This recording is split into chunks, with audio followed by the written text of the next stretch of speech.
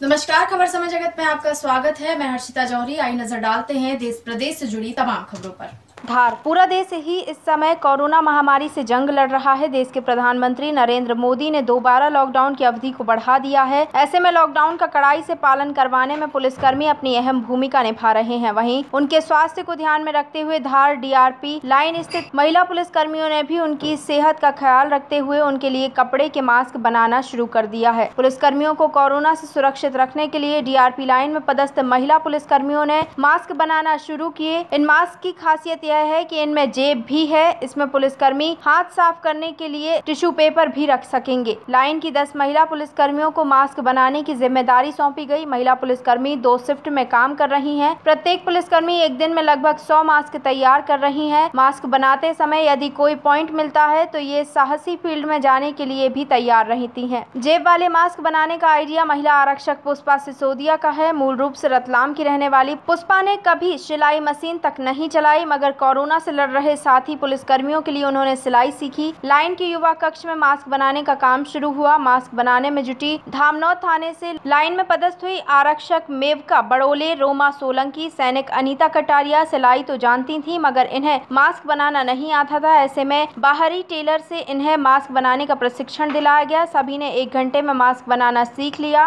पुष्पा ने पहला मास्क जेब वाला बनाया, जो सभी को पसंद भी आया। फिर बाकी भी ऐसे मास्क बनाए गए। कपड़े की कटाई के लिए सैनिक मांगूबाई को रखा गया ताकि काम कम समय में पूरा हो सके। पुलिसकर्मी हाथ को सैनिटाइज तो करते हैं, लेकिन टिश्यू पेपर रखने की जगह नहीं होने के कारण हाथ साफ़ करने के लिए उन्हें रूमाल का इस्तेमाल करना पड़ता है। इसी को देखते हुए यह वाला मास्क बनाया गया। धार एसपी आदित्य प्रताप सिंह ने भी निरीक्षण किया और मास्क बनाने वाली महिला पुलिसकर्मियों का हौसला बढ़ाया। रक्षित निरीक्षक रंजीत सिंह ने बताया कि महिला पुलिसकर्मियों के द्वारा बनाए जाने वाले मास्क ज़िले के तेईस स्थानों पर पुलिसकर्मियों को निशुल्क पहुँचाए जाएँगे। सभी पुलिसकर्मियों को मास्क बांटने के बाद यदि बचेंगे तो उनके परिजनों को भी मास्क वितरित किए जाएँगे। आपको बता दें की ज़िले के कुल तेईस स्थानों में पंद्रह पुलिसकर्मी मौजूद है जो दिन रात कोरोना ऐसी जंग लड़ रहे हैं और अपना फ़र्ज़ अदा कर रहे हैं। हाँ, एक तरफ़ देश विदेश में कोरोना वायरस को लेकर हाहाकार मचा हुआ है।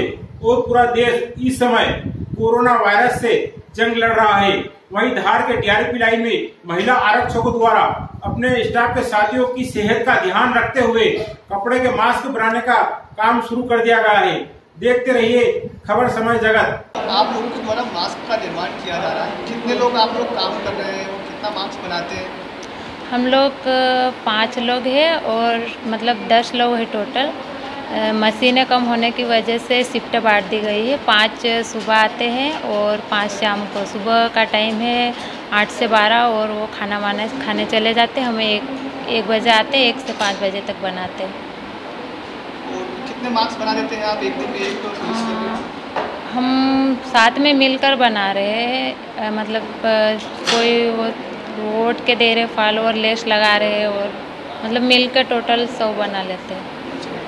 एक दिन और आप ड्यूटी भी करते हैं आप लोग को ड्यूटी भी करना पड़ती है उसके साथ में काम कर रहे हैं आप हाँ ड्यूटी भी जाते हैं इमरजेंसी आ जाए तो जाना पड़ता है ड्यूटी में। क्या कहेंगे इस परिस्थिति में आप दोहरी मार आपको काम करना पड़ता है काम भी करना पड़ता है यहाँ पर भी आप सेवाएँ दे रहे हैं?